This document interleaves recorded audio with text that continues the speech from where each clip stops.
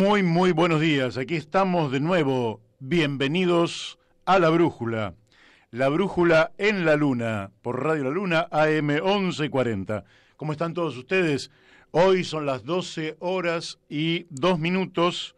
Un lunes eh, particular, eh, un lunes de octubre que generalmente son días muy lindos. Y hoy la verdad que tenemos un día nublado, frío, ventoso, 12 grados la temperatura y con una máxima de 13 grados para el día de hoy. La verdad es que se vienen tres o cuatro días que son más parecidos a los días de invierno que a los días de la primavera. Pero finalmente para el viernes vamos a tener una temperatura ideal, 23.10, para el sábado, 23.13 para el domingo, 24.13, así que disfrute este día, que si no lo puede disfrutar aquí y ahora, porque la verdad que está bastante feo, piense simplemente en el fin de semana que se viene, viernes, sábado, domingo, lunes próximo, que se vienen unos días bárbaros, propios de la primavera, propios de esta época, ¿eh? que es una época para disfrutar profundamente de la vida. Hágalo, no se pierda el poder disfrutar cada momento, ¿eh? junto a todos los seres queridos. Así que en este lunes, lunes 14 de octubre, un lunes feriado, porque se corrió el 12 de octubre para el día de hoy. Ese 12 de octubre que antiguamente cuando era pibe era el Día de la Raza. Qué, qué mm, pésima denominación. Pero bueno, los tiempos cambian, lógicamente las palabras no significan lo mismo en cada momento. Y bueno, hoy eh, los pueblos originarios lo plantean como el fin de la libertad de los pueblos originarios de América. ¿eh? Vinieron varios siglos de colonización, de explotación, de muertes, muchas muertes, mucha explotación, mucho saqueo. ¿eh? No por nada el colonialismo terminó generando tantos resentimientos, frustraciones, odios, que se produjo la lucha por la independencia.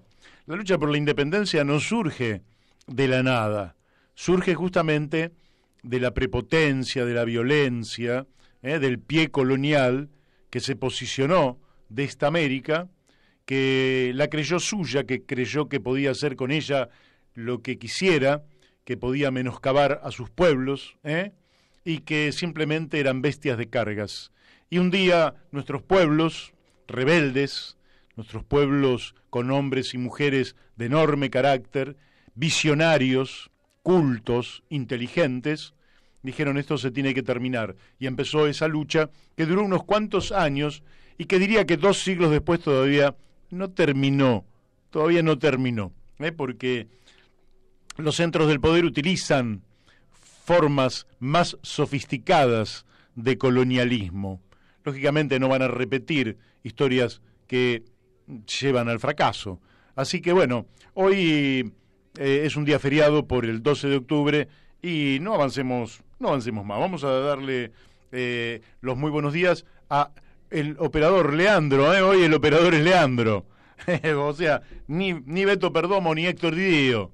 Bueno, así que esperemos que nos podamos llevar bien. Le vamos a dar también los buenos días a mi compañero de siempre que hoy está Ayer estaba en Mallorca, ¿eh? estuve hablando con él, estaba en Mallorca. O sea, parece que no le está pasando nada mal. Daniel de Abrantes. ¿eh? Eh, y lógicamente también para otro Daniel, Daniel Pérez, que es el que nos hace toda la tarea de postproducción del programa, pero no solo, también una parte de la producción. Y la verdad que el trabajo de Daniel Pérez es un trabajo central para este programa, que es un programa, si se quiere, que en muchas ocasiones reclama eh, ser recuperado. Usted se perdió un programa, se perdió un reportaje y lo quiere recuperar, entonces Daniel ha creado em, la en la Luna, que usted lo puede encontrar por YouTube. Entonces busca en YouTube y ahí con quién quiere recuperar, con Antonio Brailovsky, con Miguel Bonazo, con Maristeles Vampa, con Jorge Rulli, con Adrián Camps, con, en fin, ahí va a encontrar... Eh, 150 nombres y puede elegir y recuperar.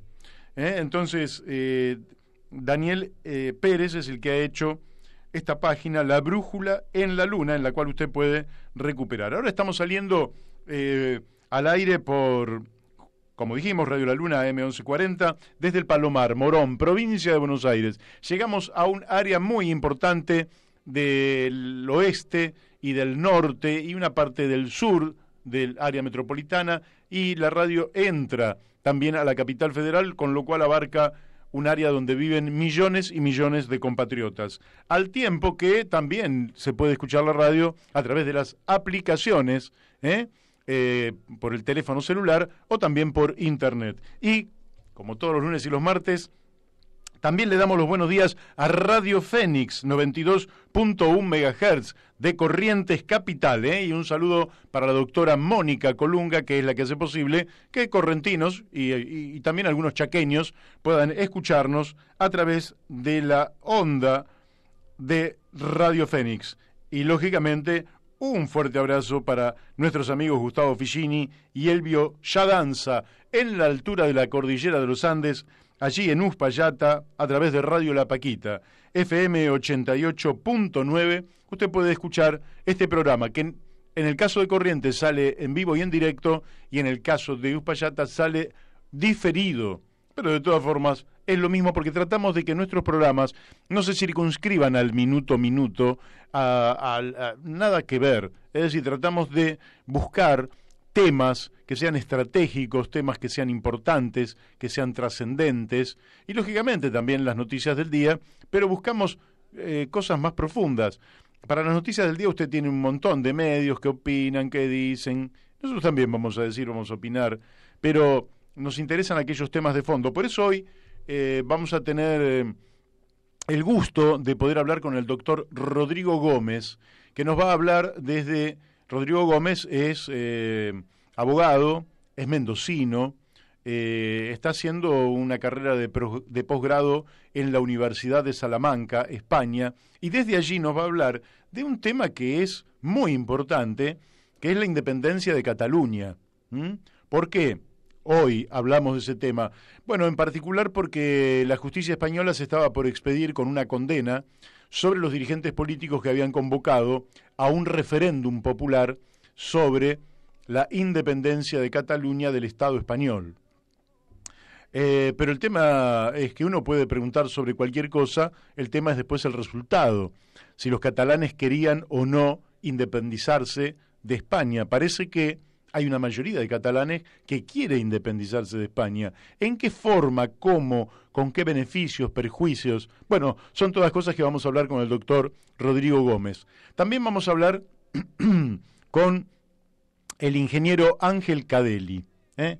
El ingeniero Ángel Cadelli eh, fue candidato a vicepresidente de la Nación en el 2007 con Pino Solanas.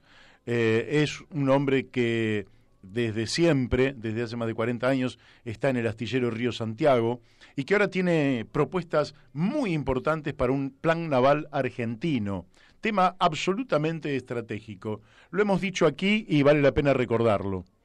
La República Argentina tiene más del doble de su superficie continental americana, es decir, más del doble de los casi 3 millones de kilómetros cuadrados que tiene nuestro país en superficie marítima. 6 millones y medio de kilómetros cuadrados de mar, de un mar muy particular, porque además de ser extensísimo, nuestra plataforma continental va por una pendiente muy lenta, mm, llevándonos al océano Atlántico. Eso quiere decir que los rayos del sol llegan al fondo de esta plataforma de una u otra manera, con mayor o menor intensidad, dando lugar a la vida, a la flora y a la fauna. De manera que allí hay una riqueza gigantesca y da la impresión de que los argentinos no tuviéramos conciencia de esto. Y como no tenemos conciencia del enorme mar que tenemos, tampoco tenemos, parece, conciencia de que tenemos que ser grandes productores de barcos. ¿eh? Porque además está nuestro comercio exterior, que en general va por barcos de banderas extranjeras. Entonces todo esto le vamos a preguntar a alguien que es un experto en la materia, que sabe muchísimo y que debe ser uno de los hombres que más sabe sobre la construcción de barcos en la República Argentina, el ingeniero Ángel Cadelli. También vamos a hablar en algún momento mm, de la segunda hora del programa con el doctor Guido Galmarini sobre qué pasa con las jubilaciones. ¿Por qué se están atrasando tanto? ¿Van a recuperar? ¿No van a recuperar? ¿Qué es lo que va a pasar? Bueno, y le vamos a hacer algunas preguntas que nos han llegado de algunos jubilados. Y si hay algún jubilado que nos esté escuchando y tenga alguna pregunta para hacerle, que la vaya adelantando. ¿eh? Puede llamar aquí a la radio al 4443 7424. 44 43 74 24 y hace la consulta y nosotros se la transmitimos al doctor Guido Galmarini, que es un especialista en temas previsionales, en temas jubilatorios. Así que bueno, hemos hecho la, presentación de nuestro programa. Eh, podría venir bien alguna música, pero vamos, vamos a pasarla por alto porque de pronto nos vamos a estar comunicando en muy pocos minutos y le vamos a dar densidad a nuestro programa, que es lo que hacemos siempre.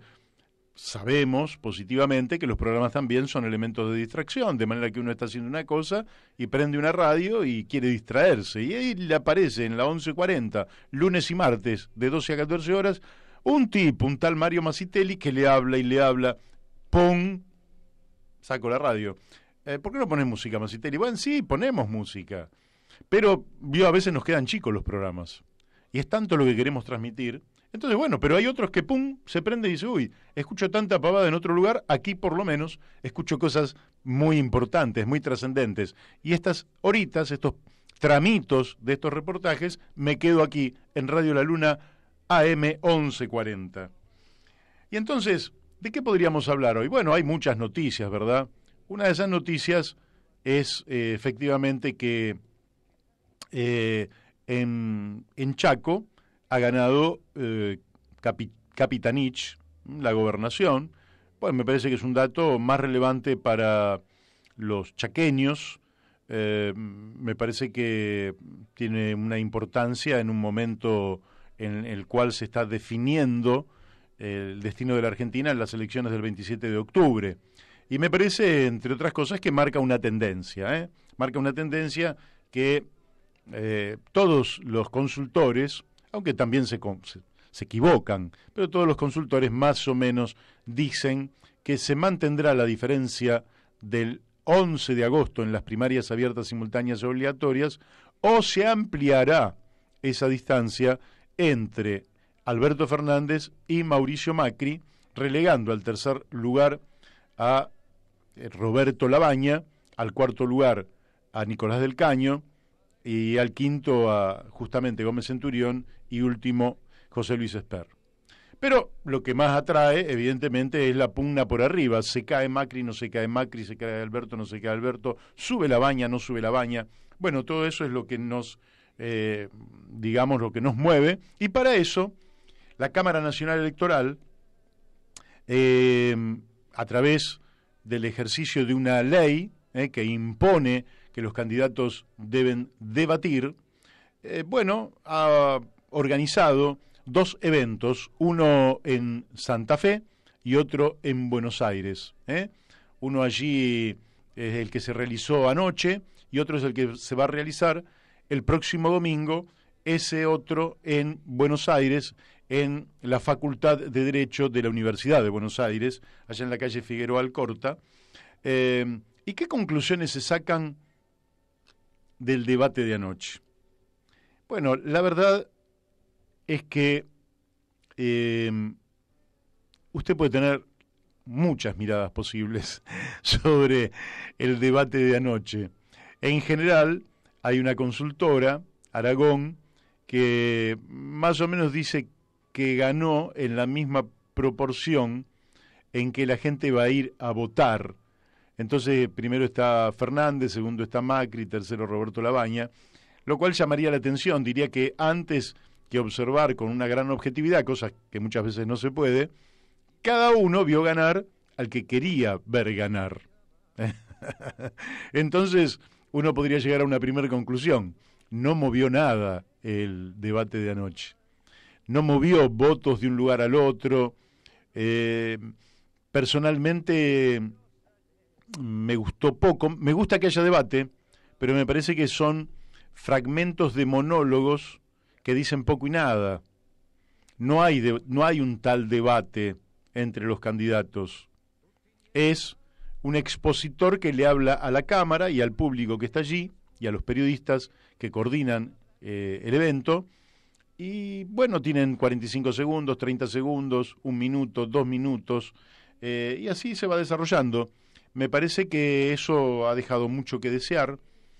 Em, no he visto ninguna propuesta realmente que uno pueda eh, decir, bueno, vale la pena cambiar mi voto porque aquí he escuchado algo que me deslumbró, ¿eh? una idea, eh, un proyecto, una ilusión, si usted quiere. Em, ahí, lógicamente, que el, más expuesto ha sido el presidente Mauricio Macri. ¿Por qué? Porque en el año 2015, Macri tuvo, participó de dos debates, uno con todos los candidatos y después, cuando se llegó al balotaje, un debate con Daniel Scioli. En aquella oportunidad, eh, Mauricio Macri eh, prometió una cantidad de cosas que no solo no cumplió, sino que fracasó rotundamente. Y se produjo exactamente lo contrario de lo que él había prometido. El ejemplo más claro es la pobreza cero. Él recibe el país con una un alto nivel de pobreza, 29% de pobreza, muy alto nivel. Eh, y dice que la va a llevar a cero. Entonces uno podría decir, bueno, no la llevó a cero, pero la llevó a 15. No, la está llevando a 40, de 29 a 40. Frente a este panorama, un colaborador del presidente, Mario Quintana, pidió perdón y reconoció que habían fracasado rotundamente. Lo vengo diciendo en este micrófono, es lo que debió haber hecho Mauricio Macri, decir fracasé, y por tanto no pido una re-reelección. Mintiendo alevosamente y diciendo que lo peor ya habría pasado y que ahora vendría la etapa del crecimiento, las inversiones, el aumento de salario, de jubilación. Todo mentira. Todo mentira. Y usted dice, pero ¿por qué, Macitel, no me haga perder la ilusión? Voy a votar a Macri y de pronto usted me dice que todo lo que está diciendo, de que el esfuerzo que hicimos durante estos cuatro años es como para relanzarnos a un futuro mejor, y usted me dice que no es así. No, no es así porque Macri quemó 100 mil millones de dólares que tomó de deuda entre el sector privado y los organismos financieros internacionales y los quemó, no están más. Y eso es lo que se llama plata dulce. De manera que los mejores cuatro años que le pudo brindar Macri, ya se los brindó. Y fueron muy malos. Pero los próximos cuatro años, si volviera a ganar Macri, serían mucho peores. Porque vendría la etapa de la plata amarga, ya no la plata dulce, ya los 100 mil millones no estarían entrando, ahora estarían saliendo. De manera que me parece a mí que Macri vuelve a crear como si fuera un, un técnico de fútbol que efectivamente en el fútbol un partido no está concatenado con el próximo. Usted puede perder un partido, alienta a sus jugadores y gana el próximo partido. En el fútbol esto es cierto, pero la continuidad que tienen los países es algo que no tiene analogía. Entonces, la herencia que recibió Macri fue mala, pero la herencia que va a dejar Macri es infinitamente peor. Ahora, dos palabras sobre el candidato del Frente de Todos. El, candidato del Frente de Todos salió con los tapones de punta contra Macri diciendo que había mentido en el 2015. Yo no sé si mintió Macri en el 2015 o fueron falsas promesas. El tipo tenía ilusiones de que iba a cumplir con algunas cosas, que llegaba a él y se resolvían todos los problemas y después no se le dio. Mentira o promesas falsas, no importa, se lió con todo a pegarle.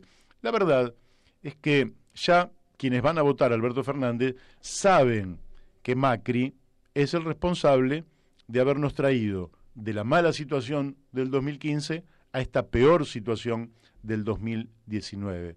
Lo interesante hubiera sido, desde mi punto de vista, que el candidato que casi con seguridad se va a transformar en presidente de la Nación, porque probablemente ni siquiera haya balotage, este es mi punto de vista, después habrá que ver qué nos dice la realidad, no tengo una bola de cristal, ese candidato, Alberto Fernández, que muy probablemente sea el próximo presidente, nos debió haber dicho cómo piensa salir de esta situación difícil que tiene la Argentina. Y desde mi punto de vista, virtualmente ya en ejercicio compartido de la presidencia, debió haber dado lineamientos estratégicos sobre el devenir futuro de la Argentina y no solo generalidades. Quizás los asesores de Alberto Fernández le hayan dicho, mm, no digas cosas específicas, no digas nada concreto, para que no pueda haber una contraofensiva de parte de los propagandistas del macrismo. Pero entonces el debate no sirvió para nada, porque si nada nos van a decir, la verdad, los otros mm, candidatos, eh, evidentemente Roberto Labaña, hombre al que he dicho que he votado y que volveré a votar, eh, evidentemente dice que no se, ha sentido no se ha sentido cómodo y aunque le reconozco dones para conducir el país, virtudes para conducirlo, esa tranquilidad, esa parsimonia, ese conocimiento profundo de la Argentina, esa voluntad de llegar a acuerdos, evidentemente carece del swing que reclama ¿eh? un, un debate de esta naturaleza, que reclama realmente de un swing muy especial que le permita generar una empatía con el público, una empatía con los que están viéndolo por televisión, para que no se distraigan, etcétera, etcétera, y bueno, me parece que tampoco modificó la estructura de voto. Nicolás del Caño, creo que como siempre, Nico ha sido un muchacho muy coherente con los lineamientos que ha marcado el Frente de Izquierda y los Trabajadores, eh, pero quizás debió haber roto el corral, digamos, esos tres puntos, cuatro puntos en los cuales se encuentra el Frente de Izquierda de los Trabajadores y debió haber Mm, antes que atacar a los otros, debió haber dicho cuáles son las ideas fuerza a partir de las cuales eh, esta Argentina puede salir. Seguramente, y ahora ya voy cerrando mi comentario porque seguramente en poquito... No me gusta en realidad em, la crítica a los otros. Eh, a veces uno los tiene que criticar, lógicamente, pero me parece que la Argentina necesita un buen trato entre sus dirigentes políticos como necesitamos un buen trato entre nosotros, los ciudadanos de a pie, los ciudadanos de la calle, ¿eh? cuando usted va a la verdulería, a la ferretería, a la tienda, al almacén, donde vaya, quiere que la traten bien, quieren que lo traten bien, y esto debe ser común a todos nosotros, y también, lógicamente, a los dirigentes políticos. Pero esto no es solamente porque el buen trato, digamos, es una buena costumbre, sino porque la Argentina la vamos a tener que sacar adelante entre todos. O por lo menos eh, una enorme mayoría. De lo contrario, unos nos neutralizamos con los otros. Unos empujan para un lado y los otros empujan para el otro. Y el resultado es el estancamiento de la Argentina. Pero para romper ese estancamiento no solo falta, no solo alcanza la buena voluntad de las partes. No, no alcanza eso solamente además de la buena voluntad de las partes, se requiere que sepamos con claridad qué vamos a apoyar. Yo no tengo, y pienso que ningún vecino, ni vecina, ni buen argentino, tiene ningún problema en apoyar la acción positiva de cualquier gobierno. ¿Eh? Cuando una cosa está bien, pero nosotros querríamos saber qué es lo que se va a hacer con la Argentina cómo este país va a ir adelante. ¿Cuáles son las propuestas concretas? Quiero decirles que han transitado por este programa muchas más propuestas que las que los candidatos a presidente han expresado a lo largo de estos meses y en el debate.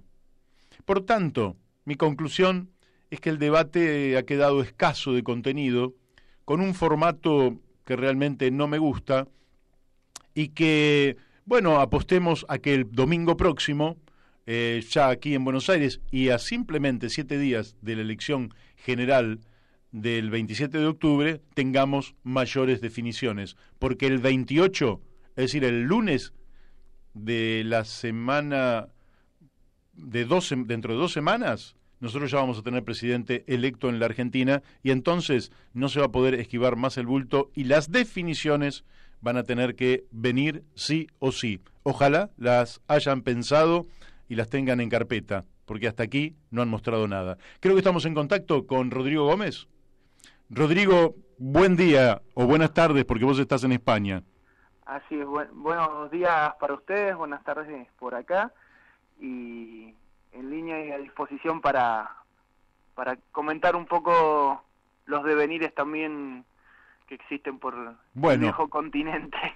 Rodrigo, un gustazo de nuevo poder estar en contacto contigo. ¿eh? Desde allí estás haciendo, hemos ya, dicho que estás haciendo un, que sos abogado, que estás haciendo una carrera de posgrado en la Universidad de Salamanca. Nuestra pregunta es, en el día de hoy se había dicho que iban, eh, iba a fallar la justicia española sobre dirigentes catalanes que habían impulsado un referéndum eh, por la independencia de Cataluña y querríamos saber si ese fallo se ha emitido, si se está por emitir eh, y en qué consistiría la sentencia de los tribunales españoles. Sí, eh, ese fallo se emitió. Actualmente hay más de 24 vuelos demorados en el aeropuerto del Prat Internacional de Barcelona por los bloqueos que han habido de los catalanes manifestándose en contra de la sentencia, o sea que ya estoy anticipando un poco cómo, cómo ha sido el fallo. Eh, hay cada vez mayores manifestaciones eh, populares en contra de, la, de lo que fue la, el fallo del Tribunal Supremo de Justicia. Y se, se avisora, por lo que se habla, es que que va a empezar una, una lucha que, que ya a lo largo de, de, lo que hablemos en, en, la entrevista, si, si querés lo vamos avanzando, pero parece que ya va a, pasar un poco más al tema del boicot económico y, y los bloqueos y, y mitines en, en la calle, a diferencia de, de, lo que se venía planteando históricamente. Ajá, Decime, contanos un poquito de eso que decís vos, que es el boicot económico. ¿De qué se trata el boicot económico? Bueno, básicamente la, la situación que se ha dado con Cataluña es que históricamente, eh, por cómo está conformado el Reino de España, eh, hay diferentes comunidades autónomas que tienen mayores o menores eh, autarquías para poder definirse sobre su presupuesto y demás. Cataluña, tanto como el País Vasco, son de las comunidades con mayor riqueza e industrialización. Uh, últimamente ha cada vez eh, ha reflotado una idea de que como devenían de la corona de Aragón, que en su momento no habían apoyado al que era el rey de España, eh, quieren levantar o han priorizado. Estoy haciendo un, un, análisis muy rápido histórico, digo porque hay algún historiador escuchando y no, no es el, el, punto de lo que quería hablar y dejar un poco más de tiempo para la parte jurídica, eso estoy pasando ahí y, discusiones enteras de por arriba. eh, y entonces Cataluña básicamente lo que hace es eh, reivindicar que son independientes y que tienen una idiosincrasia y una y una economía totalmente diferente a lo que es el resto de lo que sería España. España mm, entiende que son todas partes del mismo territorio, entonces la discusión empezó a, formarse por cómo llevaban adelante el, este proceso de independencia que cada vez llevó a, que se sumaran más personas y más y más catalanes a, pensar y a sentir, digo, uno camina por, por las calles de Cataluña y encuentra siempre eh, gente entregando lazos amarillos que habla de la independencia y bueno, igual las banderas de Cataluña en varias casas y, lugares de, de Cataluña. Entonces este proceso eh, empieza a tomar cada vez más a nivel político, pero no se encuadra en lo que fue por ahí eh, la lucha que hubo en el País Vasco, en donde hubo un poco, un poco bastante más de, de violencias, atentados, que eso se terminó desarticulando y hoy por hoy con mayores eh, eh, entregas en cuanto a autarquías y, posibilidades de nombrar eh, su propia policía, bueno, cosas que, que ha llevado a que tenga el País Vasco más independencia, eh, en vez de, optar por la forma de lucha armada y de guerrilla que hubo en el País Vasco, en Cataluña se optó por llevar adelante un proceso democrático en donde eh, las personas votasen para ver cómo si querían participar o seguir siendo parte del Reino de España o conformarse como un país independiente. Mm. Esto que ha sido propulsado y promulgado, y bueno, acá siempre hay, hay, una, como en Argentina se habla la, la brecha o, la, la, diferencia que hay entre unos y otros, acá eh, en España hay una brecha muy grande con este tema de la independencia de Cataluña que está muy fuerte, y después de varios años de que Franco eh, prohibiese eh, hablar el catalán, hoy por hoy eh, las escuelas, se da la escuela pública, se dan todas las, igual que en las universidades, las clases se dan en catalán y particularmente se, se, se va dando formación a los alumnos, esto es lo que dicen desde el lado de España, ¿no? eh, que se están formando a los alumnos con una visión de que España los está presionando y sometiendo y es por eso que cada vez hay mayores jóvenes, mayor cantidad de jóvenes participando en esta, en esta, en este movimiento, jóvenes que eh, no comparten la idea de tener un rey, ni, lo que tiene que ver con la nobleza y esos títulos, y tienen una idea un poco más de lo que es la república, la división de poderes, y no tener esto, estas prebendas solo por el, el hecho de formar parte de una sociedad. Eso es el, el discurso después por de una sociedad, de una familia, perdón. Este es el discurso que hay por arriba, después hay un montón de, de, intereses de fondo a nivel económico con lo que tiene que ver con la independencia. El tema es que quienes eran presidentes en su momento, el vicepresidente Junqueras y el presidente Puigdemont, en el año 2017 llaman a un plebiscito para que la gente votase, los catalanes votasen, si querían independizarse o no. Desde Madrid lo prohíben, eh, la policía, que es propia de Cataluña, que son los mozos de escuadra, eh, siguen las órdenes de las autoridades, de quien era el, presidente de Cataluña, y eh, permiten, algunas sí, otras no, permiten que en las escuelas se lleven adelante estas elecciones. Estas elecciones dan por resultado que los catalanes quieren independizarse, desde el lado de España dicen como no era obligatoria y como este, este proceso lo había llevado adelante los independentistas, los que no quieren ser independientes no fueron a votar, entonces eh, no, no reconocen, sin embargo, alrededor del 70% de la población votó a favor de, la independencia. Claro. Y como consecuencia de este proceso, el 27 de octubre del 2017 eh, promulgan la independencia de Cataluña evidentemente esto va totalmente en contra tanto de la Constitución como del Código Penal, el mismo que existe en, España, existe en Argentina en cuanto a lo que tiene que ver con la rebelión y la sedición de, una parte. Digo, nosotros los argentinos lo pasamos allá por el, siglo XIX, esto de que si eh, Buenos Aires era o no parte de, de la Confederación. exactamente. Bueno, estas son partes de las discusiones que están pasando hoy por hoy en Europa eh, digo, si queda tiempo hablaremos un poquito de, lo que pasa en Reino Unido, pero también eh, los, termina salpicando esta situación. De hecho, la, ministra de, Escocia también estuvo bastante del tanto y comentando esta situación. A ver, te quiero, sí, te quiero preguntar, eh, ¿podría ocurrir que así como Bolivia es un Estado, es un Estado plurinacional, quiere decir que siendo un Estado único, para la administración de justicia, para la salud, la educación, las relaciones exteriores, etcétera. Es un Estado, pero al, al, interior de ese Estado conviven muchas naciones. ¿Podría ser esta una solución posible para esta, este conflicto que parece que terminaría disgregando a España y ya no la conoceríamos en el mapa tal cual la conocemos hoy?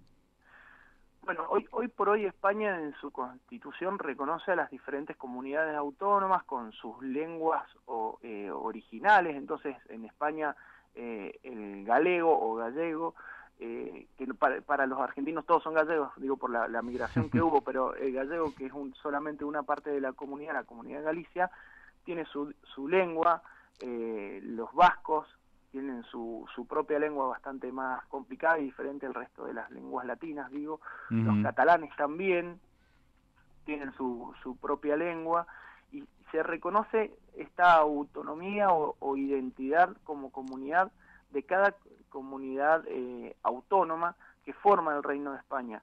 Lo que pasa es que la representación única a nivel internacional la tiene el, presidente y las normativas que se hacen en el Parlamento Nacional las tiene que, rigen para toda España es lo que no quieren reconocer eh, los catalanes. Así también como eh, más allá que pueda hoy por hoy ser emblemático digamos eh, tanto cuanto cobra la familia real y las decisiones que puede llegar a tomar el rey que no son hoy por hoy de calado profundo, porque eso pasa por el ámbito eh, de, digamos, de las instituciones y de los representantes que han votado el pueblo, tampoco reconocen eh, ciertas leyes que tienen que y, y, ciertas prerrogativas que tienen, por ejemplo, el rey, como digamos que en contra de lo que uno puede pensar desde Argentina eh, en cuanto a lo avanzado y la civilización que hay en, en Europa, eh, por ejemplo, cantar o hablar en contra del rey eh, constituye un delito contra, contra la, corona. Pero, pero Macri no nos ha dicho ayer que eso era una dictadura. Disculpa, no, no, no. No, no dice un chascarrillo, si querés, que digo que Macri no dijo que eso era una dictadura, porque evidentemente eso no es una democracia, es una monarquía donde la gente no puede burlarse del rey. Claro, bueno, eh, justamente es bastante llamativo lo que pasa y, saliendo un poco de lo que es el foco de, la, de mi participación ahí en la radio, lo que pasa en Europa cuando, eh, más allá del, gobierno de Maduro, si está bien o si está mal, o, cuestiones que tendríamos para, para hablar una buena cantidad de minutos o, u horas, eh, de repente reconocen a otro presidente que se autoproclama, y, y claro, los quienes llevaron en Europa o en España en particular adelante un proceso democrático para que la gente tenga la autodeterminación, digo, a los argentinos nos suena bastante esto de la autodeterminación con, Malvinas y no, la autodeterminación de decir queremos ser parte del Reino de España o nos consideramos que eh, somos una comunidad totalmente diferente y por lo tanto queremos ser un país independiente, eh, estas personas terminan con el vicepresidente Junqueras, tuvo 13 años, volviendo a la pregunta jurídica, 13 años y medio de eh, prisión efectiva, la sentencia salió hoy, son dos en total los imputados, penados, procesados y penados, donde la máxima pena ha sido para el vicepresidente, recordemos que el, presidente está exiliado con pedido, de captura en Bélgica, y Bélgica no se ha pronunciado sobre el fondo, pero no lo, no lo ha extraditado, y, y entonces estas personas que ellos dicen vamos a hacer un proceso democrático para ver si la gente que vive acá quiere que seamos independientes, son delincuentes. ¿Por qué? Porque no reconocen la Constitución Nacional. Sin embargo, cuando en un país de Sudamérica alguien que forma parte del legislativo se autoproclama con un grupo de personas más presidente eh, del país, bueno, lo reconocen y hablan de lo que son las dictaduras latinoamericanas.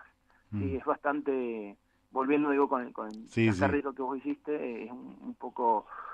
Eh, una paradoja lo que como, como el poder trata de un lado y de otro las mismas situaciones. Entonces, volviendo, volviendo sobre el tema de la sentencia, al vicepresidente, ex vicepresidente de la Comunidad de Cataluña se le eh, acordó un 13 años de prisión efectiva, 13 mm. años y medio, con una prohibición de 13 años también de ejercer cualquier cargo público, a quien era el presidente de la asamblea se le entre, se le eh, otorgó, se le aplicó una pena de 12 años y así va disminuyendo hasta hasta diferentes representantes que tenían que ver con eh, la representación o la dirección de los que eran los mozos de escuadra, la policía comunal, que siguieron las órdenes, y lo mismo con, con los representantes del Poder Judicial, que seguían las órdenes de lo que en su momento se consideraba un nuevo país que había terminado con esta declaración del 27 de octubre.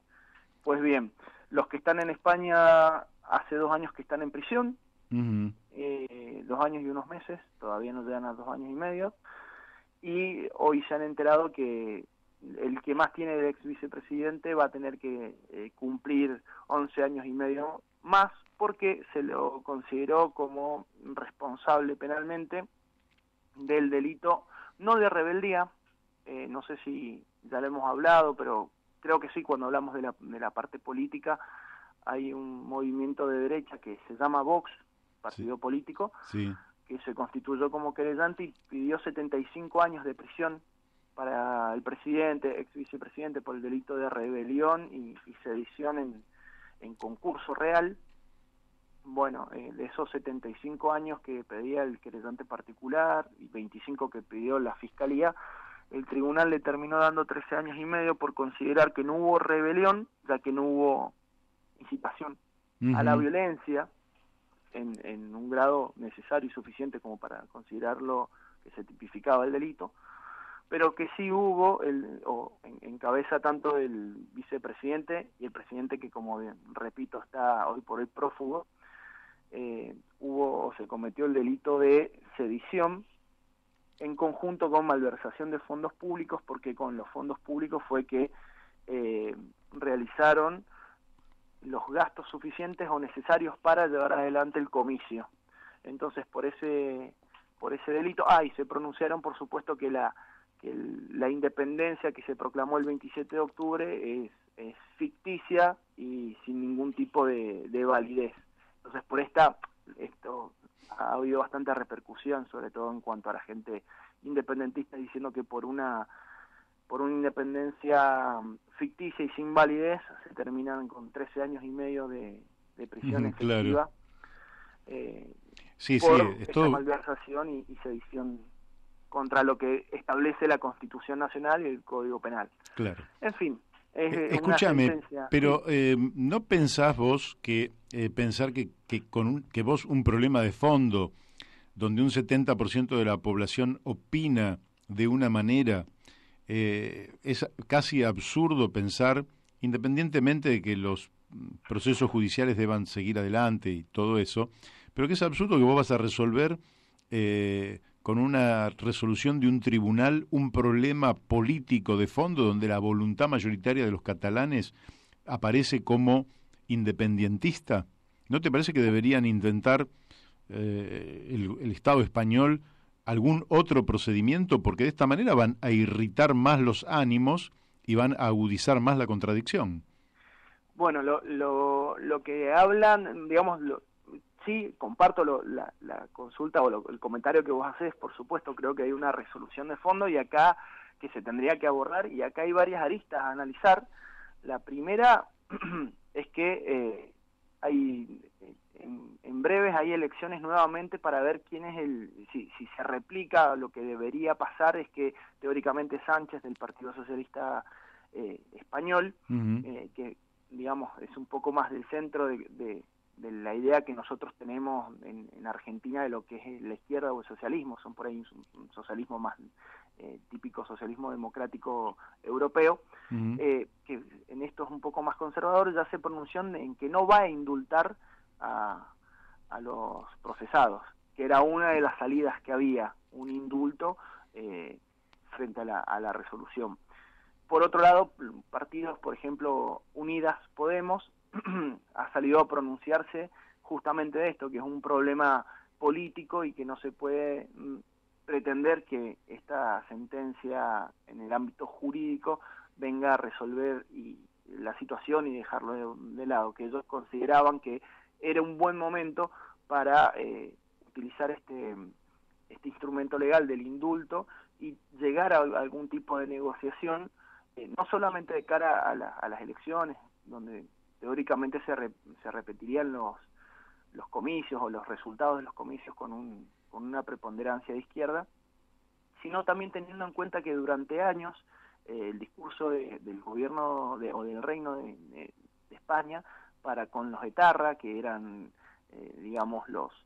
Sí, el brazo armado de... exactamente, el brazo armado del País Vasco era, podemos llegar por medio del, del diálogo a encontrar un punto de salida sin que tengamos que tener dentro del país atentados, secuestros y, más, muerte. Entonces, quienes deciden no llevar adelante una lucha armada y llevar un proceso democrático de, elecciones terminan con este tipo de, penas eh, pues bien, esta, esta un poco más progresista o de izquierda termina diciendo que eh, no es una resolución para nada. Es cierto que no fue el 100% de la población que participó. También es cierto, porque no era obligatoria las elecciones de, del 1 de octubre del 2017, también es cierto, o por lo que afirman, de que muchos de los que no participaron no compartían o no estaban en el, movimiento independentista.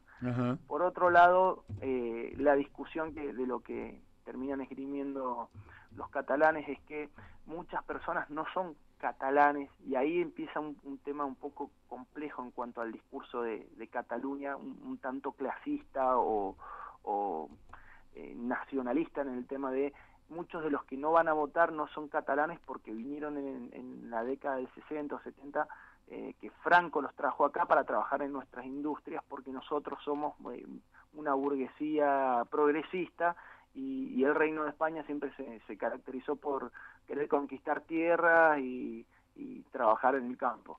Entonces nosotros no compartimos esta, esta idiosincrasia y de repente nos han metido una cantidad de gente que viene de Andalucía o de Extremadura o de la misma Castilla a, trabajar acá, que son los que hoy por hoy se consideran españoles y no catalanes, pero ya viven acá hace 40, 50 años o, más incluso.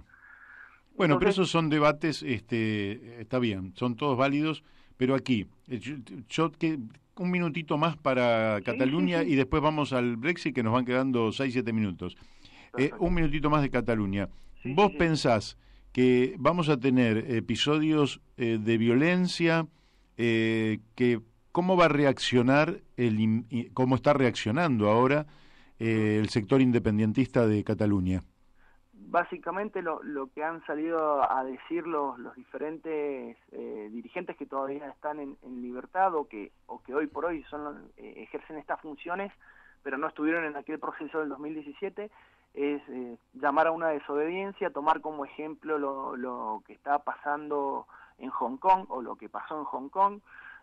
evidentemente no han hablado porque, claro, mm, por ahí no se mira tanto lo, que ha pasado en Ecuador, pero digo, manifestaciones eh, en la calle en contra de las decisiones y han llamado justamente a esto con lo que empezábamos con el boicot, de tratar de esmerilar económicamente eh, a España, pero que por supuesto le trae consecuencias económicas y jurídicas a Cataluña, porque también ya han sedes de, empresas españolas han vuelto a, radicarse fuera de, de Cataluña por esta situación de que si Cataluña digo que también atraviesa todo, si Cataluña saliese eh, y se considerase, si se pudiese considerar un país independiente para formar parte después de la Unión Europea, eh, cualquier miembro de la Unión Europea tiene derecho a veto, o sea que España tendría que estar de acuerdo que Cataluña sea independiente y después dejarlo anexarse a, a lo que es la, la Unión Europea. Sí, eh, sí. Cosa que se parece bastante difícil. Entonces, varias de las empresas frente a estas situaciones en los primeros movimientos y en aquel 27 de octubre del 2017 decidieron eh, radicarse en, en, Europa, digamos en España central y salir de, del ámbito de Cataluña. Eh, entonces yo lo que avisoro es que va a haber, no sé cuánto tiempo podrá mantenerse este tipo de desobediencia civil y de manifestaciones en, en la calle. Hoy con, con la lectura, esto veníamos hablando hace ya un tiempo, Mario, para ver cuando salíamos a dar el panorama de, Cataluña y estábamos esperando esta sentencia que justamente salió hoy. Hoy ha empezado con una manifestación bastante fuerte y han dejado incomunicado el, el aeropuerto internacional, han suspendido más de 24 vuelos, sobre todo en este horario salían vuelos para que comunicaban Barcelona y Madrid. Mm. Eh, y lo que se ha llamado es justamente esto, a un boicot económico y desobediencia civil. Veremos cómo sigue Veremos si hay una salida política a esto. Sánchez ya dijo que no los va a indultar, que va a hacer que la ley eh, y la constitución prime por sobre todo decisión política. Y bueno, hay, hay algunos movimientos de, de izquierda que están más eh, decepcionados con este con esta este posicionamiento y por supuesto quienes tienen una idea una noción más rígida de lo que es la Constitución y lo que es España que si, hacen lugar a esto, empezaría a desmembrarse, porque podría lo mismo decir Galicia, que también tiene un movimiento no tan fuerte, pero también un movimiento independentista, el País Vasco que siempre lo fue, empezar a, desmembrarse lo que es el, Reino de España, bueno, pues la derecha está un poco eh, disconforme con la, baja cantidad de años que van a tener que cumplir.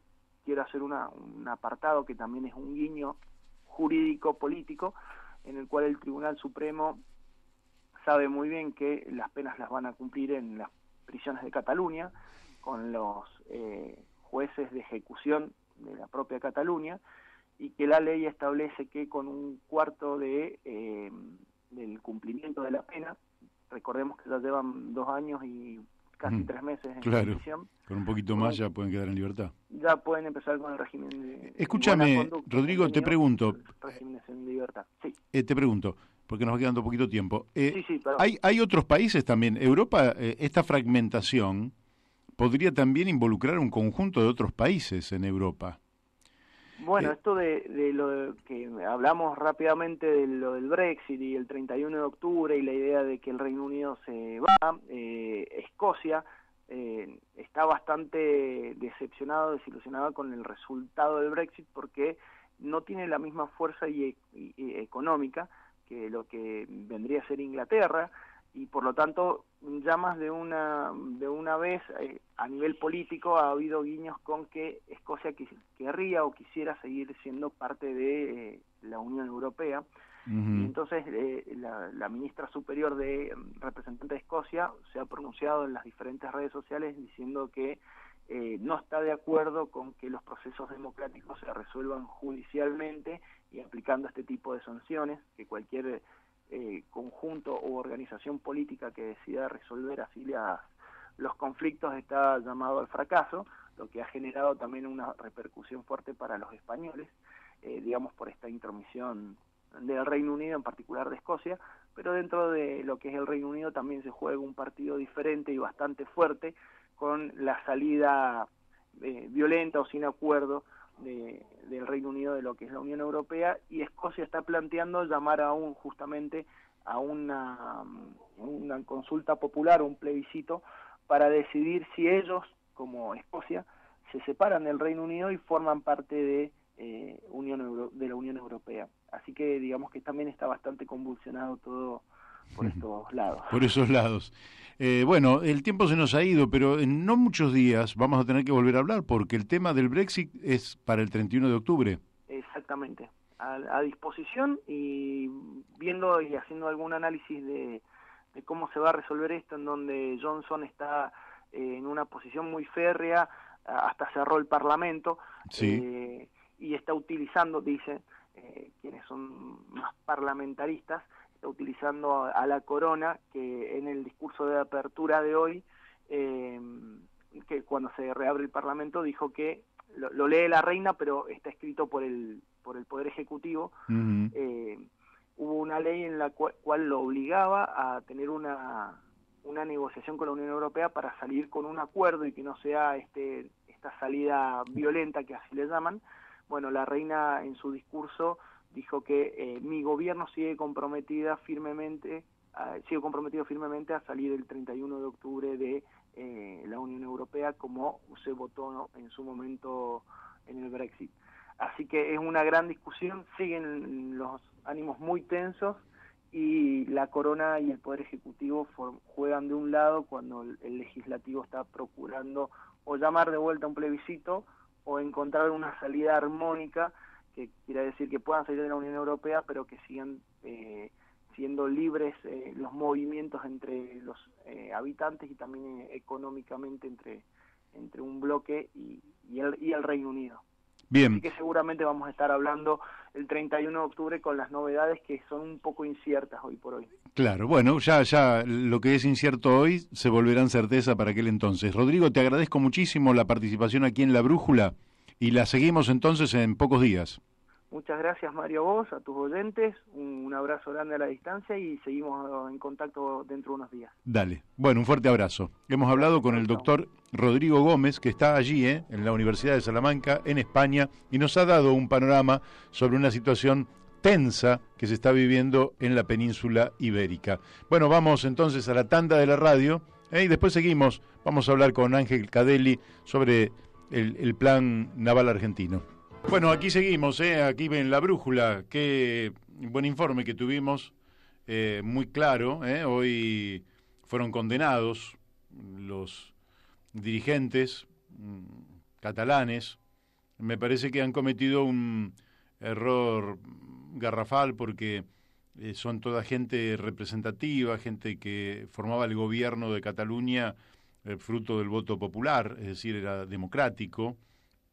Y, lo único que hicieron fue preguntarle a la gente, porque es un sentir popular muy grande que tienen los catalanes. Estarán acertados o pueden estar errados, pero la democracia no es eso.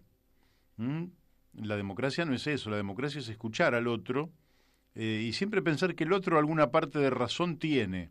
¿eh? La razón no la podemos tener. Toda la razón la tengo yo y los demás no tienen ninguna. Eso no, eso no existe, eso es, eso es autoritarismo. Eh, la razón está repartida porque alguien cuando dice algo, algún motivo, algún fundamento, algo tiene. Y cuando tantos catalanes dicen queremos, no queremos ser una monarquía, no queremos que nos dirija, que nos conduzca que nos represente el rey de España, los Borbones. No queremos eso. Queremos ser una república con sus poderes democráticos bien constituidos. Eh, bueno, lógicamente que esto tiene también muchas miradas, pero eh, la respuesta, esta respuesta por fuera de la política, por fuera del diálogo, autoritaria, de llevarlos al banquillo de los acusados y ponerlos presos y decir que tal que tal independencia es una ficción, tal independencia de Cataluña es una simple ficción. Pero, ¿cómo vas a poner a alguien preso por una simple ficción? Esto que nos relataba tan bien Rodrigo Gómez, como si, es, si, si ese intento de asalto fue una simple ficción, no se puede poner a alguien preso por, eh, por el asalto porque fue una ficción, no existió. Bueno, son estas contradicciones, ¿no? estas contradicciones de los países centrales que lógicamente nos hacen creer a nosotros que ellos tienen democracias perfectas cuando lo que no existe es la democracia, porque en las monarquías no hay democracia. Yo cuando los países que son monarquías dicen que no hay democracia en Venezuela, la verdad que es un hazme reír. Mañana vamos a tratar de hablar con, con algún venezolano, ¿eh? alguien preparado, porque ayer este, en el debate, eh, Mauricio Macri, casi como una polea de transmisión de la política exterior de los Estados Unidos, dijo que en em, Venezuela hay una dictadura, ¿verdad? Y que, em, que eh, el gobierno argentino, en cambio, eh, reconoció como presidente de Venezuela al señor Guaidó, que no lo votó nadie.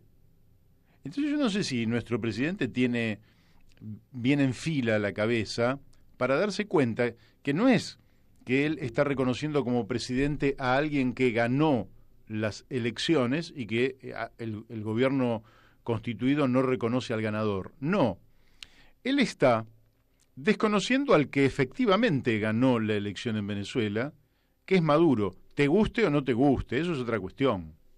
Sea el tipo más o menos autoritario, eso es otra cuestión.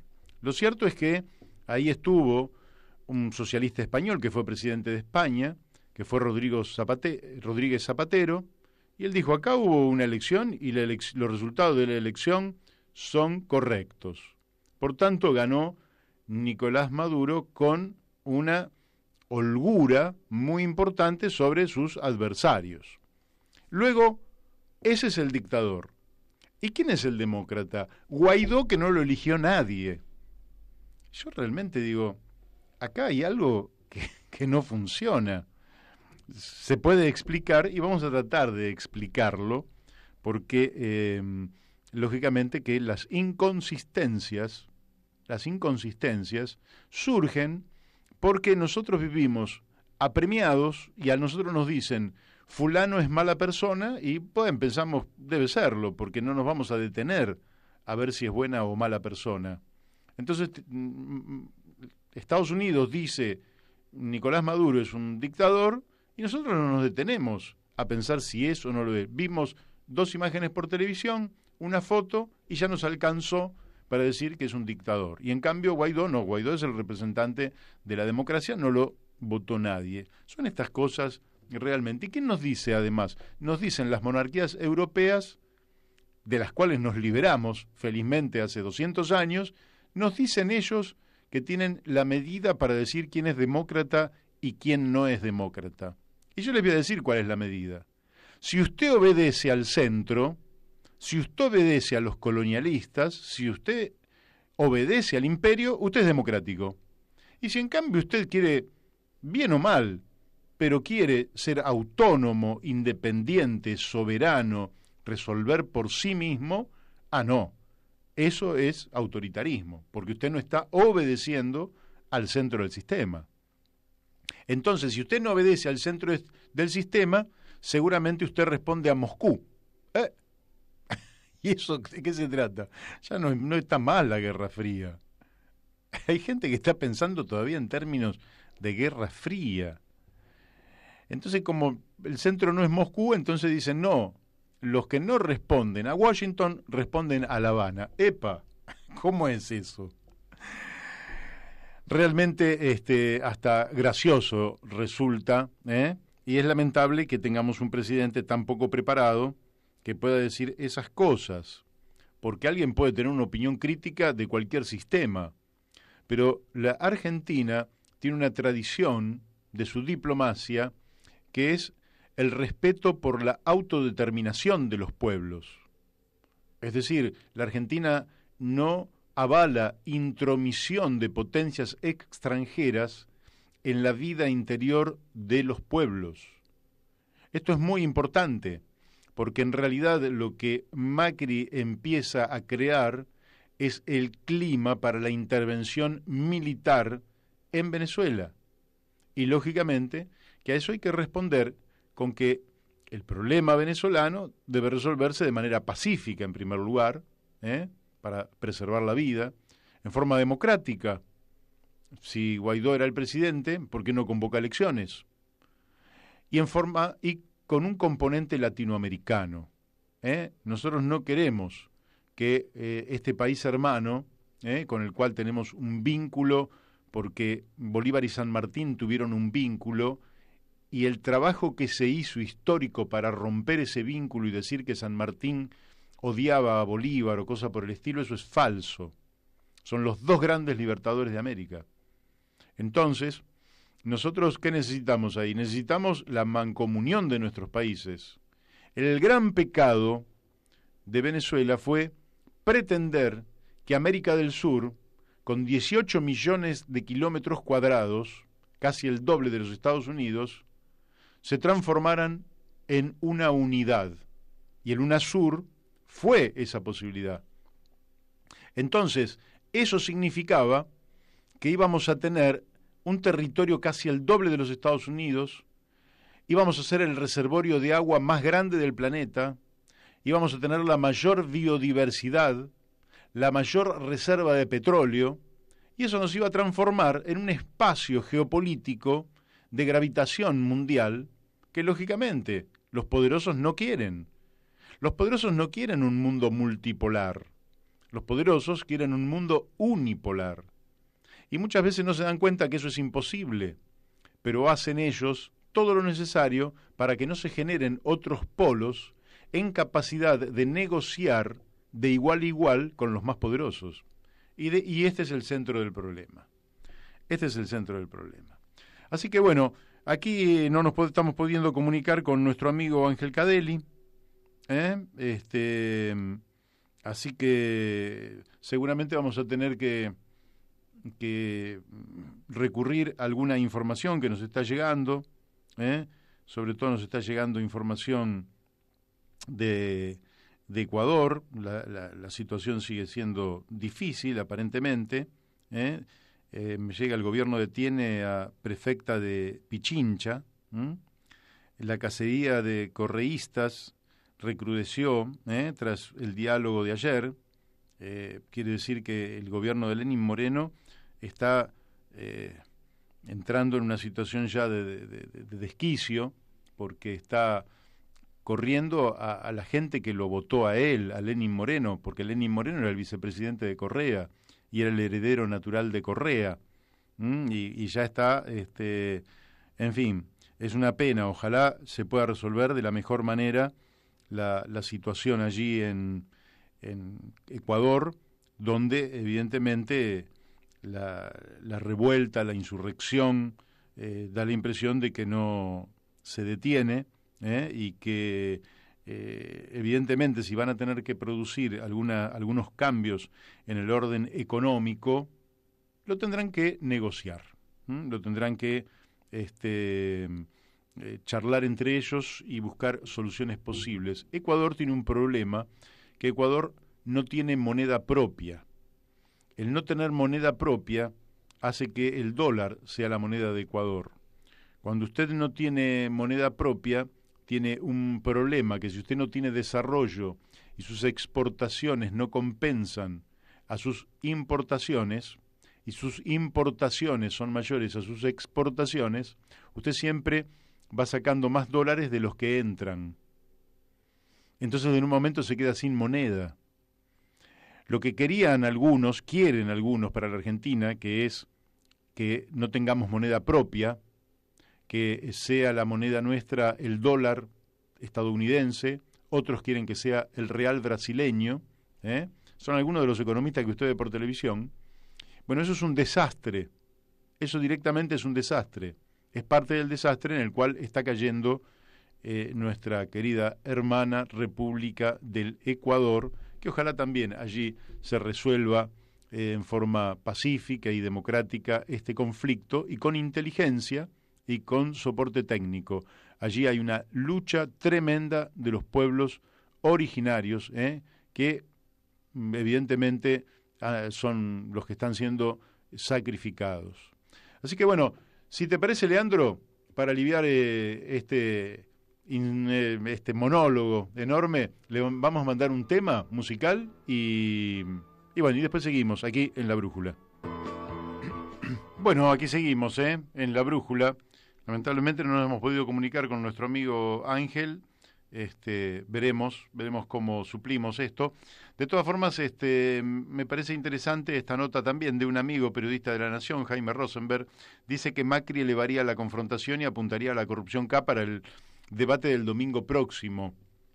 Eh, en realidad, él lo dijo eh, ayer, con lo cual, desde el punto de vista de la jugada, fue un error que cometió Macri porque ya anticipó que la estrategia de él es reservarse toda la batería de argumentos para el debate del domingo próximo, que es el último debate, eh, anterior ya a las elecciones del 27 de octubre, para tirarle con todo el todo todo lo que me parece que no ha medido Macri es que ya dijeron todo.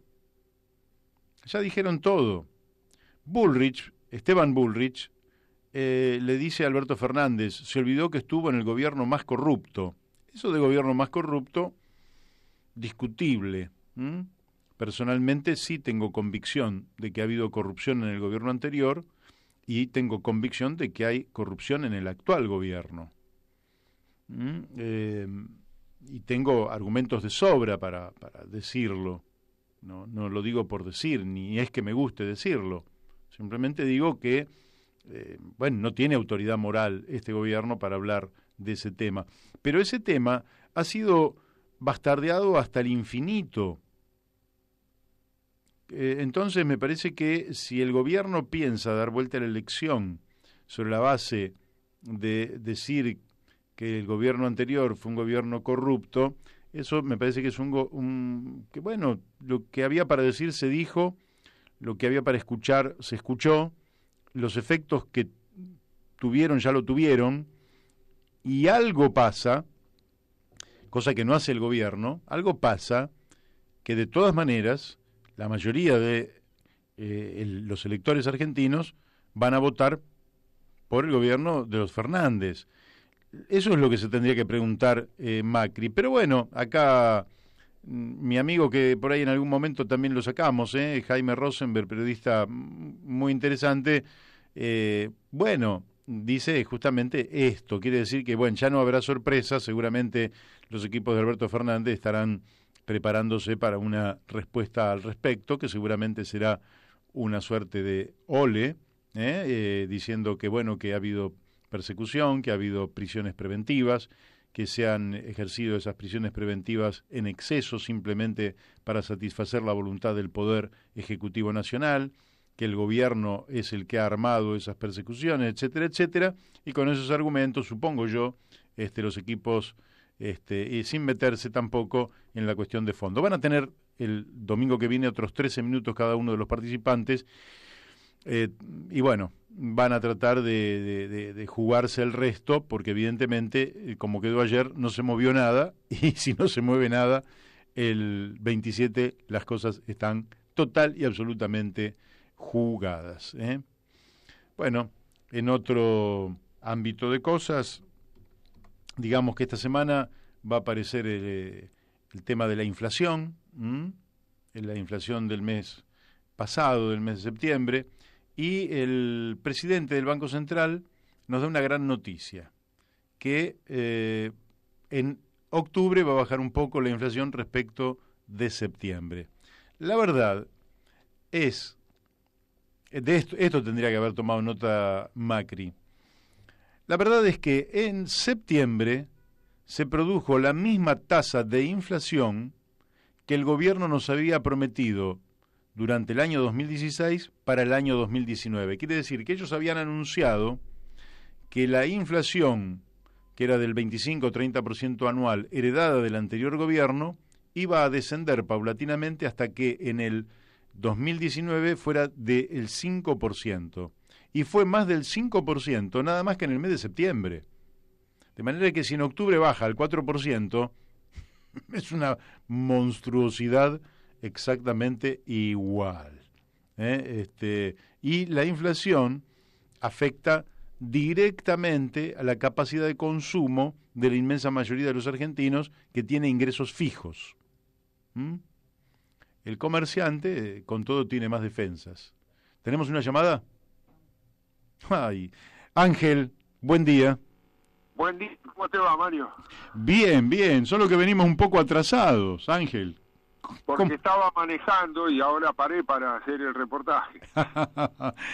bueno, bárbaro. Bueno, eh, en principio, eh, gracias y un gustazo. No lo vamos a hacer en la extensión que yo tenía previsto, pero de todas, ah. maneras, de todas maneras vamos a tratar de, postergar a otros invitados que tengo, eh, pero la idea era que empezáramos exactamente a la una.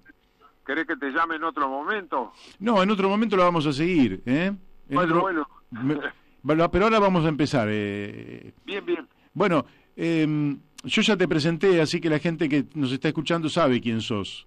Em, yo te iba a hacer algunas preguntas que las voy a dejar de lado, que tienen que ver con, con la historia, y te voy a preguntar directamente por algo que ustedes están impulsando, que es el Plan Naval Argentino. ¿Por qué no nos comentás algo sobre este tema?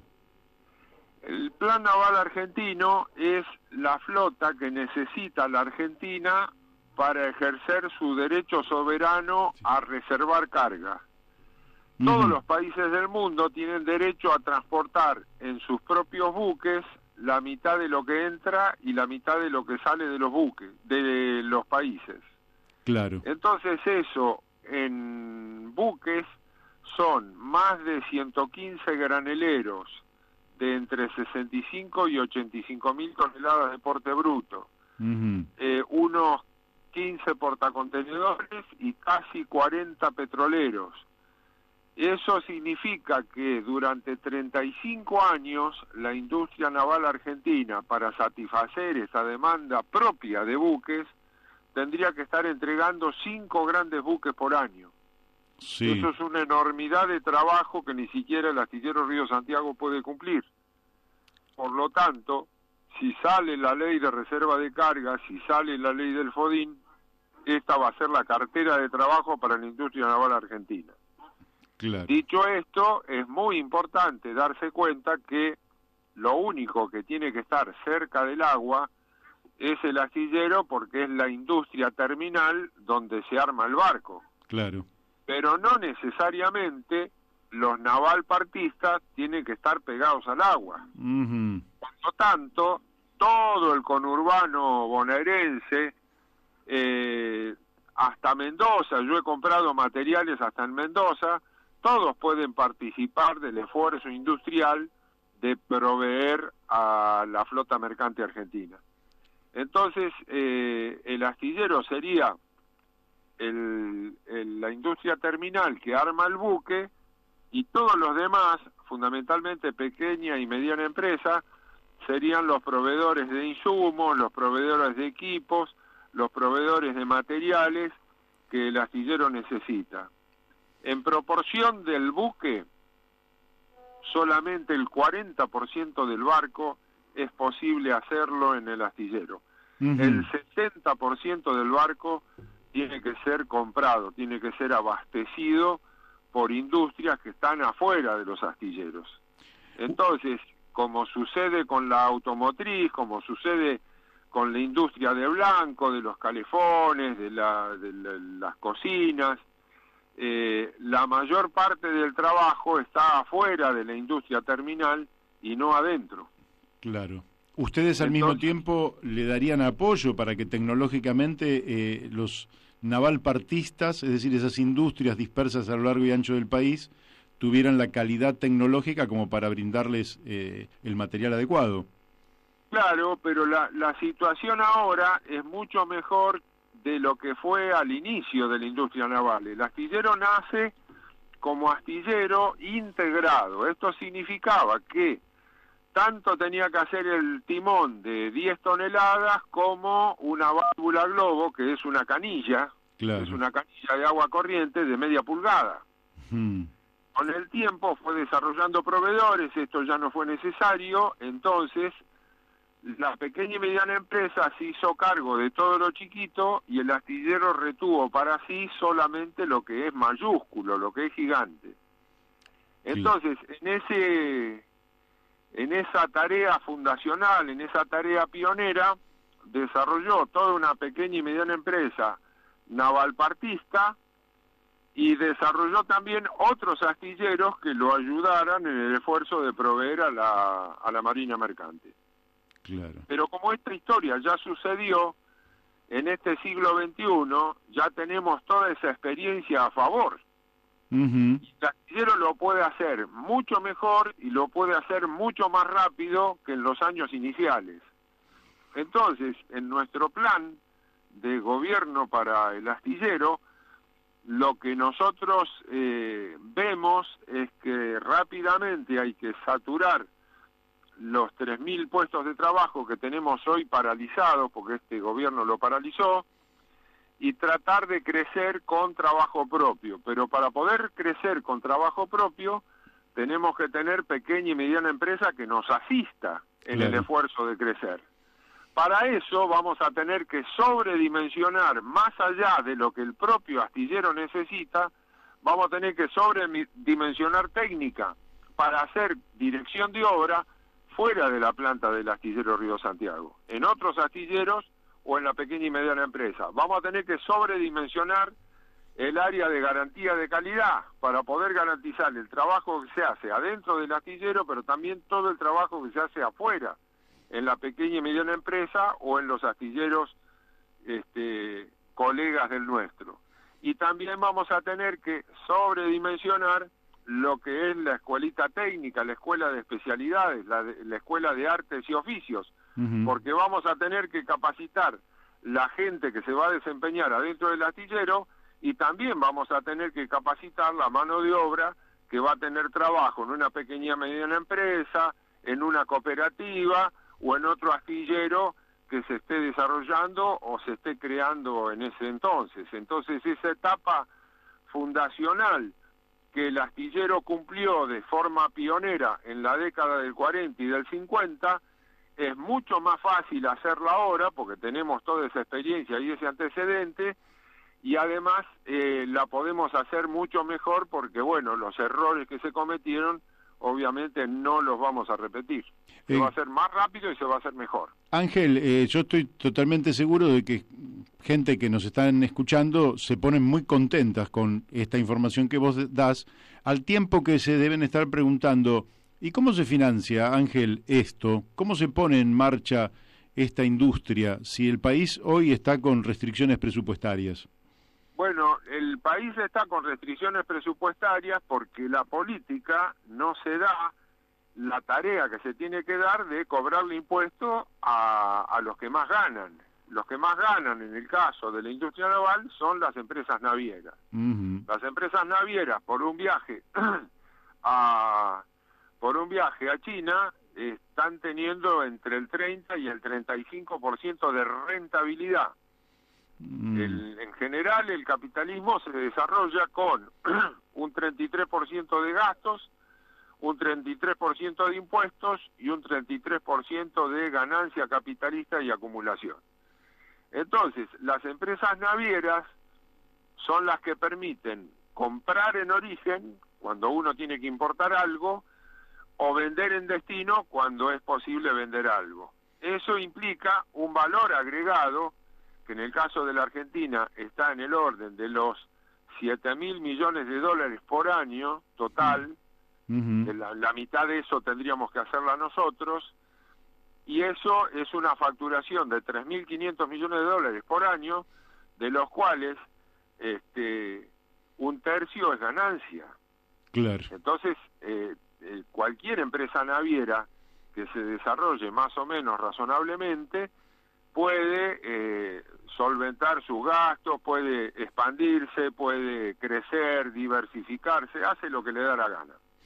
Como eso ahora está en manos extranjeras, nosotros lo que hacemos es cobrar un 2% de impuesto al flete en total, lo que sería un 2% sobre los 7 mil millones de dólares. Claro. Eso hace una caja de 140 millones de dólares año de piso. Pero como cuando el buque se construye y sale a navegar empieza a pagar la parte de crédito que también se le dio, ese, ese, esos 140 millones de dólares por año es la mínima. La máxima es cuando se ameseta en 350 millones de dólares por año es decir, prácticamente un millón de dólares por día, sea este hábil o, feriado. Eso alcanza y sobra para lo que estoy diciendo, alcanza y sobra para lo que estoy diciendo. Bien. Alcanza para pagarle a todos los astilleros y a todos los proveedores. Y además lo que está haciendo falta en la Argentina es precisamente lo que nosotros somos capaces de dar. Nosotros no necesitamos en este momento eh, gente que venga a trabajar en computadoras, gente que venga a trabajar en, tableros, en oficinas, lo que necesitamos es gente de abajo, gente humilde.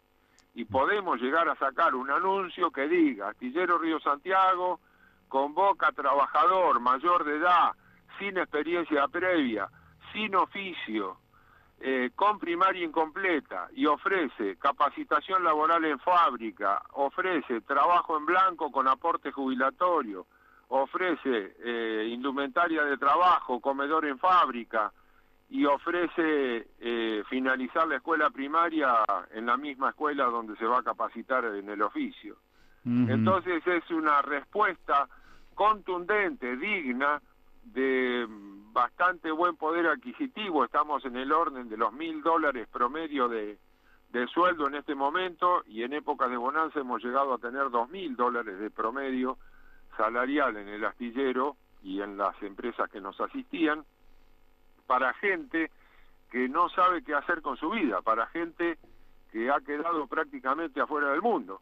Entonces, este, ser desocupado, ser mayor de edad, no tener ningún oficio, tener la primaria incompleta eh, no es eh, condición para que nosotros descartemos a esa persona, al contrario, esos son los que más van a amar su oficio y son los que más van a querer a su máquina herramienta y son los que más van a querer a su trabajo que es el que les permite llevar el pan a la mesa. Así es. Ahora, eh, te hago una pregunta que también se deben estar haciendo nuestros oyentes. Siendo que ustedes la tienen estudiada, vos sos ingeniero y te acompañan un montón de, ingenieros, de técnicos, de gente muy capacitada, con mucha experiencia.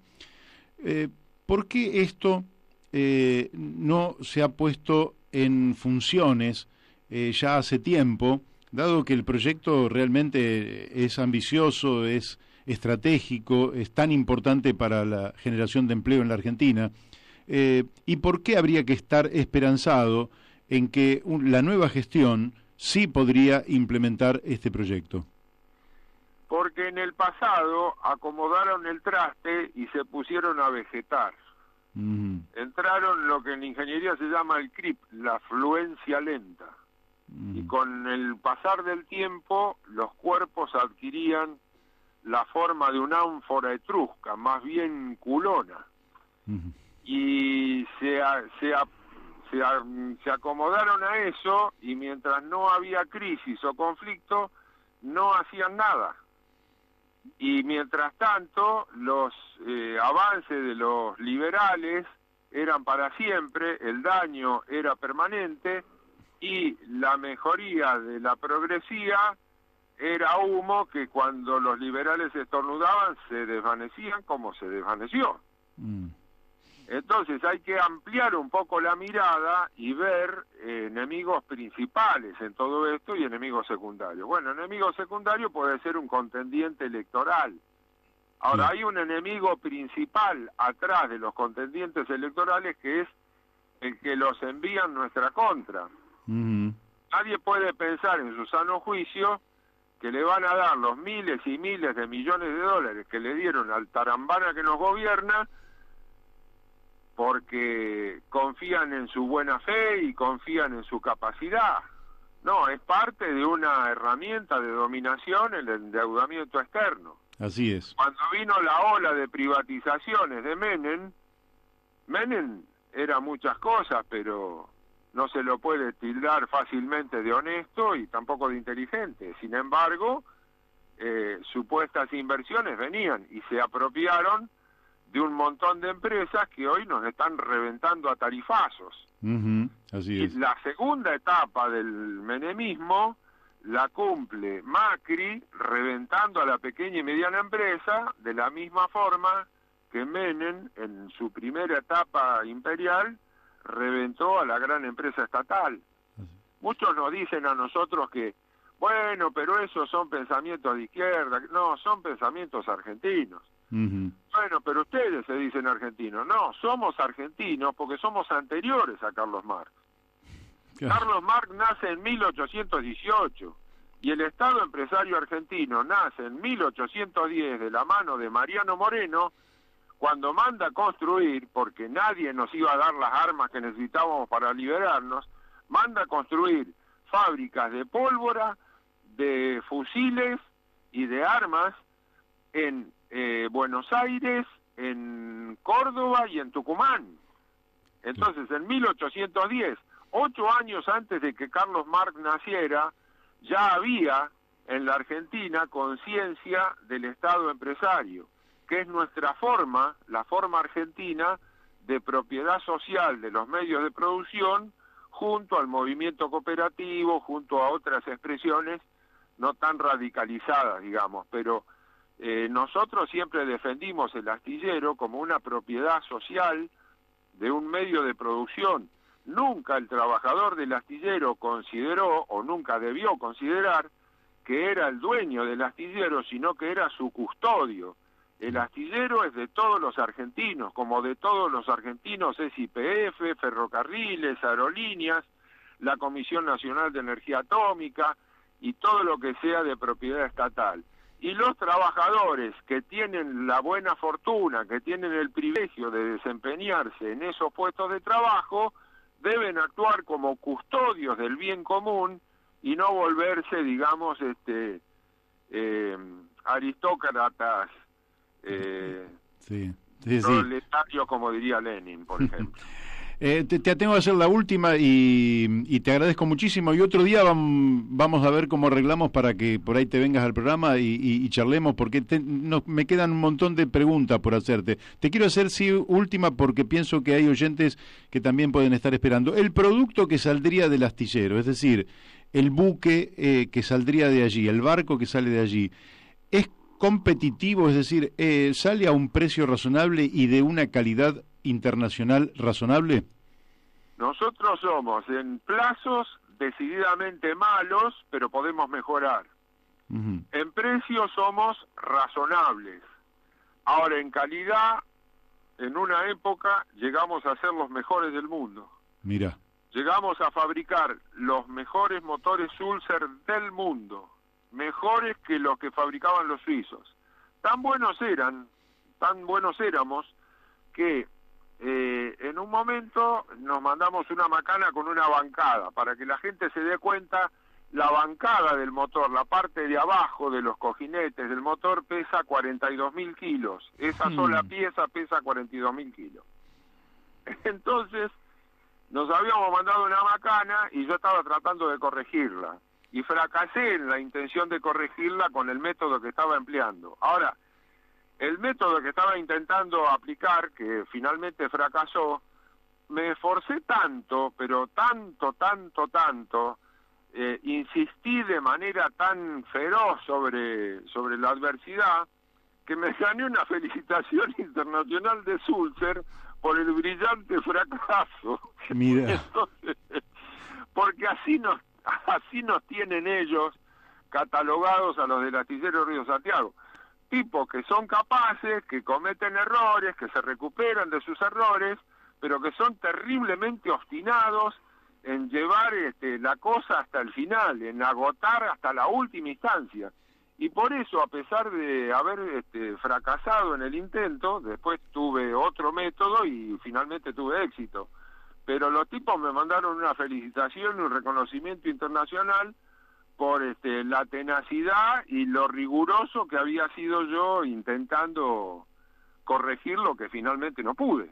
Bien. Pero bueno, hasta por los fracasos tenemos buena fama. Muy bien. Eh, los, los plazos se pueden mejorar, eh, los, los precios siempre fueron razonables y pueden seguir siéndolo, y la calidad ahora está puesta en discusión más por inactividad que por otra cosa, pero yo creo que eh, poniéndonos las pilas en cuestión de seis meses, un poco antes también, eh, volvemos a estar en las primeras páginas de la calidad del mundo.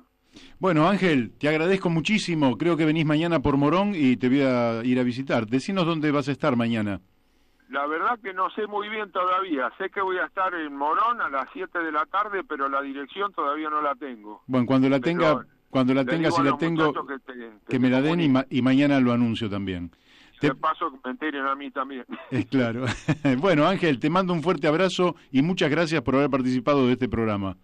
El cariño de siempre, Mario. Muchísimas gracias a vos y un beso a toda la familia y a todos los compañeros que andan por ahí. Bueno, muchísimas gracias. Igual para vos, Ángel. Hasta luego. Hasta luego. Bueno, eh, un, ingeniero que es un lujo para la Argentina, eh, que tendría que estar todos los días en la televisión porque es de una capacidad extraordinaria. Y creo que tenemos, un, tenemos en línea al doctor Guido Galmarini, a quien le pedimos mil disculpas. Guido, ¿cómo, te va? ¿Cómo anda Mario? bien. Entramos tarde con Ángel y te pido mil disculpas, Guido. No, no hay problema, no hay problema.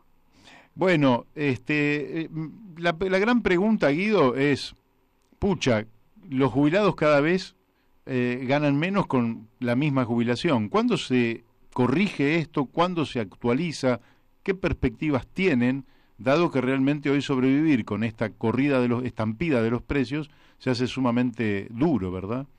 Exacto, sí, yo, como te comenté un poquito el lunes pasado, eh, es, es un tema muy complejo el tema de los jubilados porque nunca alcanzan el, el haber que les corresponde para poder llegar a la, a la, a la inflación mensual estipada, estimulada, que todo el tiempo todo el tiempo los jubilados están atrás de eso y es, es son los que más lo sufren, ¿no?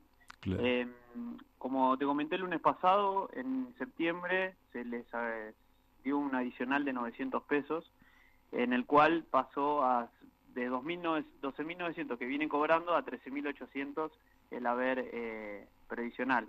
Lo que lo que lo que pasa es que comúnmente, como todos los beneficios, tienen un, una negatividad en el, en el sentido de la norma, porque porque establecen eso, pero establecieron el, este monto de 900 pesos por el solo hecho de poder llegar a, cumplir con lo que estableció en algún momento una resolución del Consejo de Empleo en el cual había que eh, sí o sí establecerse eh, o superar el 82% del eh, del salario mínimo vital y móvil. Claro. Entonces, eso les, funcionó para eso, pero sin embargo, los jubilados este mes van a volver a sentir este, este, este, esta cuestión inflacionaria. ¿Por qué? Porque los aumentos que se, se, plantearon en principio de año eh, terminan estableciendo para octubre un, el aumento de 16.800 pesos eh, como salario eh, como mínimo de una jubilación, ¿no? Eh, las pensiones no las tomamos en cuenta, pues las pensiones son del 80% de lo que es el, el haber mínimo. Entonces es diferente el monto. Pero bueno, con, eh, con esto que en octubre tendrían que llegar a los 16.000, eh, están superando esta cláusula gatillo del 82% del haber salario mínimo vital y móvil. El problema es que eh, no cumplen eh, realmente con, con la inflación que se está esperando, ¿no? Claro, aparte el salario mínimo vital y móvil no es tal, porque el salario mínimo vital y móvil por el que trabajó el doctor Alfredo Palacios eh, era un salario que le permitía al trabajador eh, no solo la manutención, es decir, la comida, sino mantener a la familia, tener también espacio para la recreación, etcétera, etcétera. Esto se discutió en la década del 60 y hoy el salario mínimo en cuánto está, Guido? Y hoy está en, en 12.900 pesos está. Eh, y esto, digamos que no, no es, no, no, no, realmente todos sabemos la época que estamos viviendo y esto no, no, no se puede hacer nada con eso. Eh, mm. todo el tiempo uno está hablando con la gente y está muy afectado con, con, con esto, más que nada los, los, la gente de tercera edad, que es lo que estamos hablando, lo sufre todo el tiempo, con la baja de los medicamentos lo sufre, con un montón de recortes que realmente le están haciendo y en época de crisis es uno de los de los que lo más lo sufren, ¿no?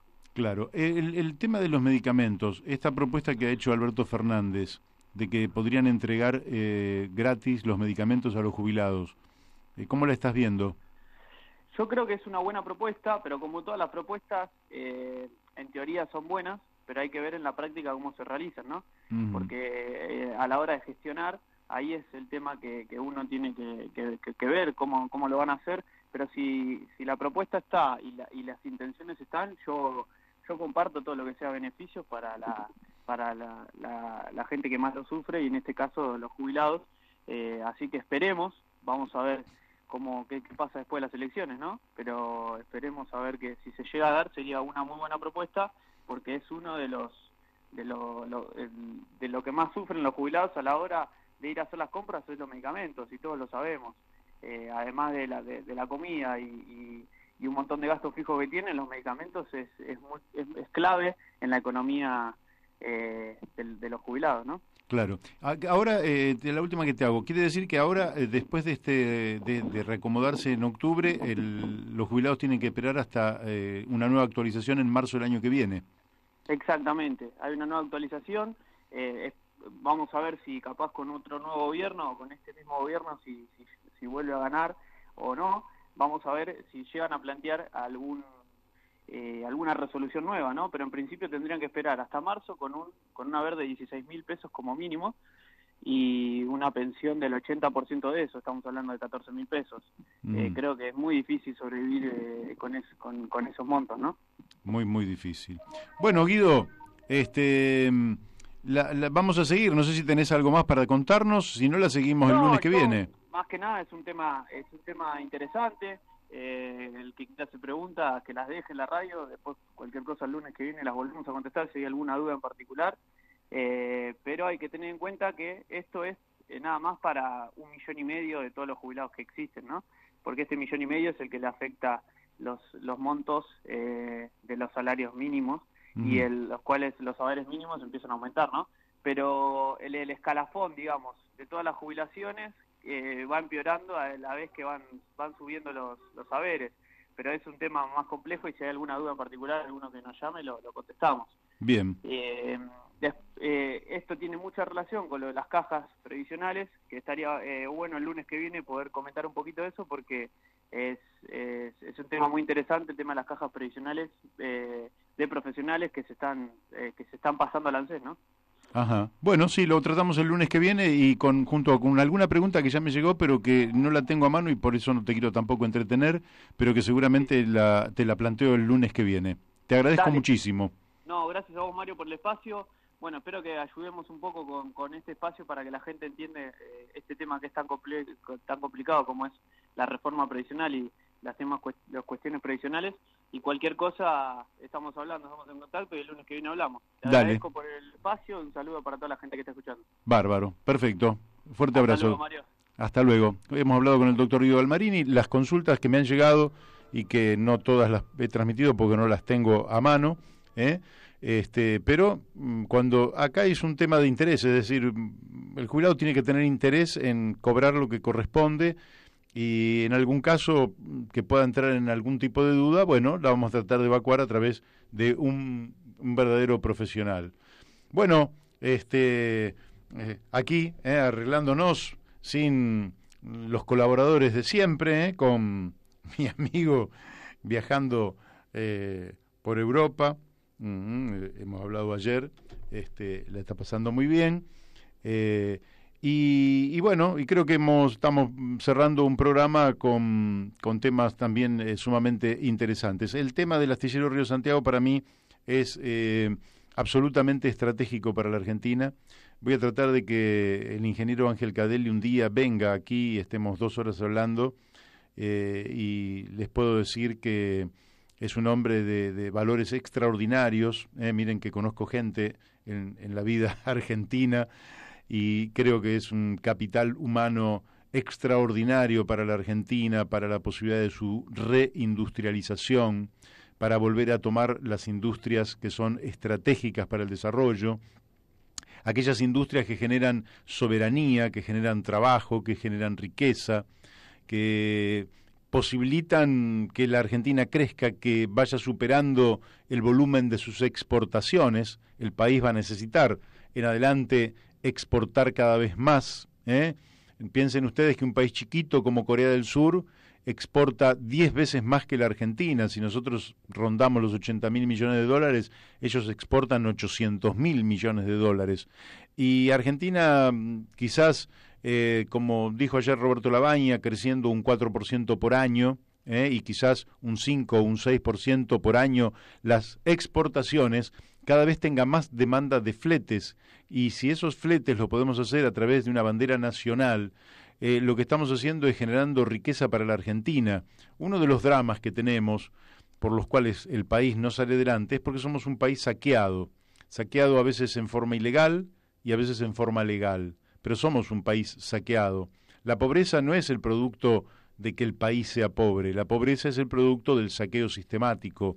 Recuperar recursos para los argentinos, recuperar trabajo, creación de riqueza, conocimientos, desenvolvimiento tecnológico, crecimiento educativo, ¿eh? son todas partes de un modelo. Cuando ayer escuchaba el debate, y con esto ya me voy despidiendo, creo que viene a continuación Amaneceres Turismo, ¿eh? Eh, con Martín Gutiérrez, así que quédense en Radio La Luna M1140 que viene Amaneceres Turismo con Martín Gutiérrez, eh, eh, un modelo de país no está compartimentado. Usted cuando quiere comprarse un coche, no va a una gomería, compra cuatro ruedas, después va a una casa de carrocerías y compra una carrocería, después va a una casa de motores y compra un motor. No, no es así, porque eso termina siendo un cachivache, que termina siendo Frankenstein. Lo que usted necesita es una armonía entre las partes. Por lo tanto, lo que se necesita es un proyecto de país. Cuando usted tiene un proyecto de país que sabe cómo va a desarrollarse, entonces ahí puede definir qué sistema educativo quiere, porque ese sistema educativo va a estar directamente vinculado al conocimiento. El conocimiento es el desarrollo científico. La ciencia la va a poner en práctica. Eso es la técnica, es la tecnología. La tecnología la va a pasar a la producción. La producción es la creación de bienes y servicios. La creación de bienes y servicios reclama de mano de obra capacitada. Eh, y, y es un, entonces se va articulando todo un sistema que es lo que nos está faltando a la Argentina. Es decir, somos una suma de fragmentos en la Argentina. Es como tener en la selección 11 jugadores buenos pero que no se arman como equipo. Nosotros somos una serie de fragmentos. Esos fragmentos al no articularse se descomponen, se degradan y entran en la situación de fracaso y decadencia en la que nos encontramos. ¿Se puede salir de esto? Sí, se puede salir con proyecto de país. Una de las personas que expresan un proyecto de país es con quien hemos hablado hace unos momentos, Ángel Cadelli. Por eso me parece que este reconocimiento hacia su figura, porque deberíamos ser muchos, muchísimos, los que impulsemos un nuevo modelo de país, ¿eh? un modelo de país siglo XXI. ¿Para qué? Para que en él quepan todos los argentinos y todas las mujeres y varones de buena voluntad que quieran habitar el suelo argentino, porque 45 millones somos pocos y es inaceptable que tengamos 16 millones en la pobreza, niveles de desocupación del 11%, cuando en realidad lo que debería estar ocurriendo en la Argentina es que nos estarían faltando mano de obra.